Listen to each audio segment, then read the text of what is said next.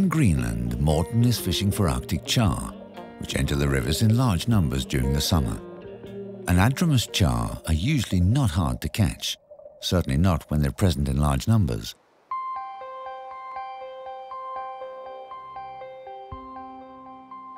Streamers are always a good choice for char, especially in strong colours, orange for instance. Morten uses one of the most simple streamers around, a Zonker.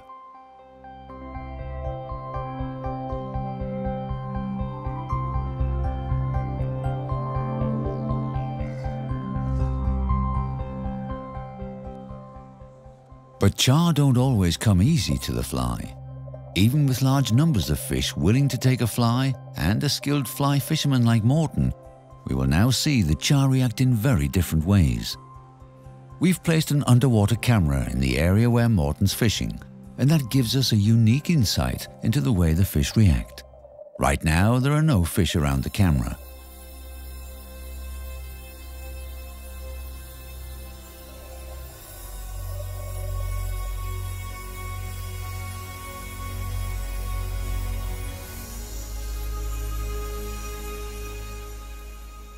Morten lets the fly swing with the current and retrieves it in short strips with small variations.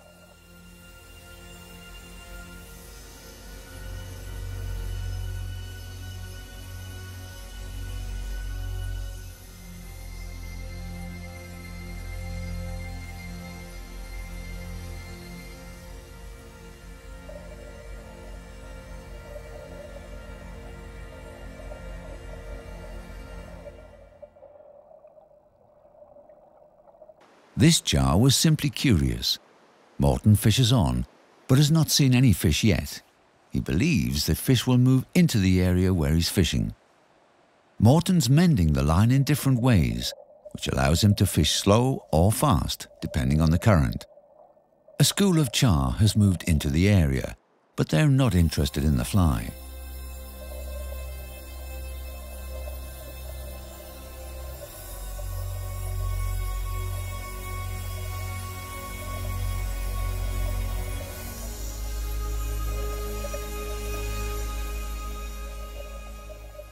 This char was curious.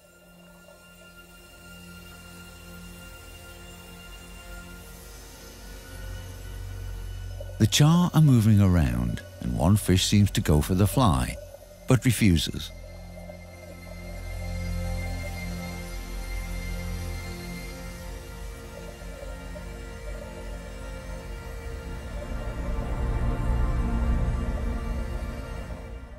Char takes the fly all the way into its mouth, but spits it out again.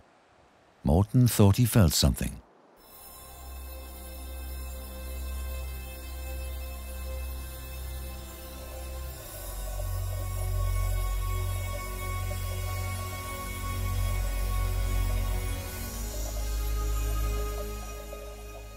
And this fish also takes the fly, almost without opening its mouth. Morten feels the take and tries to set the hook.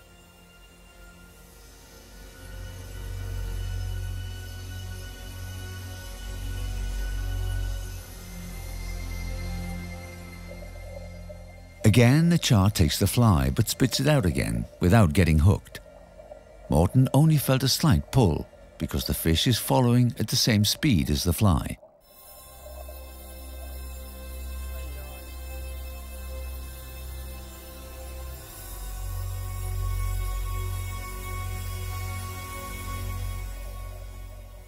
Finally, a char that simply takes the fly.